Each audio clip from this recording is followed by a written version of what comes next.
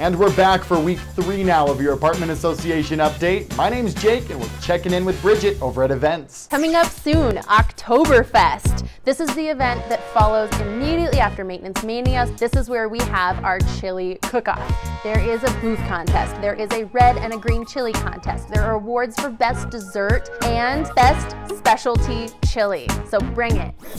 Hey, thanks, Bridget. And now we're bringing things over to April with education. So excited to announce our first ever Leadership Development Certificate program. We have two different series, the Leadership Series and the Personal Effectiveness Series. So make sure and get signed up with our certified coach, Brandon Johnson.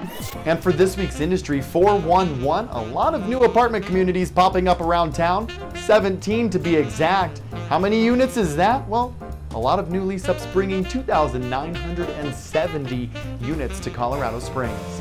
And that does it. It's 60 seconds. That's our update. We'll see you next week.